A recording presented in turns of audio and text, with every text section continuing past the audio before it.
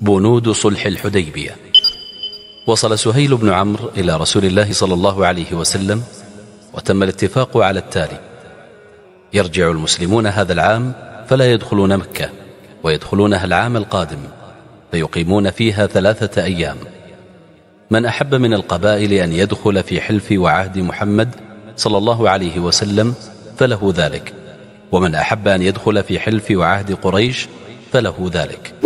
من أتى محمدا صلى الله عليه وسلم مسلما يرد إلى قريش ومن أتى قريشا مرتدا عن الإسلام لا يرد إلى محمد صلى الله عليه وسلم.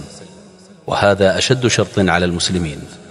وضع الحرب بين الطرفين المسلمين وقريش عشر سنوات يأمن فيها الناس ويكف بعضهم عن بعض. تحلل الرسول صلى الله عليه وسلم.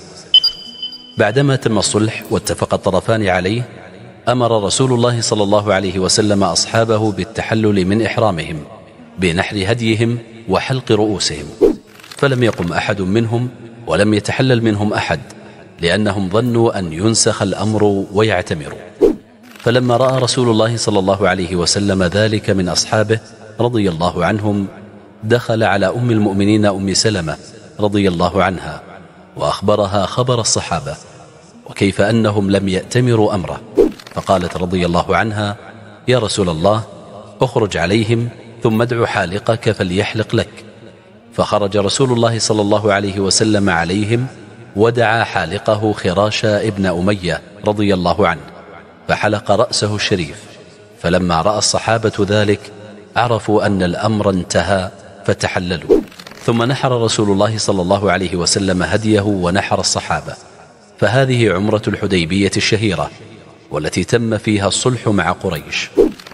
رجوع الرسول صلى الله عليه وسلم إلى المدينة ونزول سورة الفتح. ثم رجع رسول الله صلى الله عليه وسلم ومن معه من جيشه البالغ 1400 مقاتل من أصحابه إلى المدينة فنزلت عليه سورة الفتح وهو في الطريق. ففرح بها النبي صلى الله عليه وسلم فرحا عظيما وقال لقد أنزلت علي آية هي أحب إلي من الدنيا جميعا. رواه مسلم. قال الله تعالى إنا فتحنا لك فتحا مبينا ليغفر لك الله ما تقدم من ذنبك وما تأخر ويتم نعمته عليك ويهديك صراطا مستقيما. قال الإمام الطحاوي أجمع الناس أن الفتح المذكور في الآية إنا فتحنا لك فتحا مبينا هو صلح الحديبية.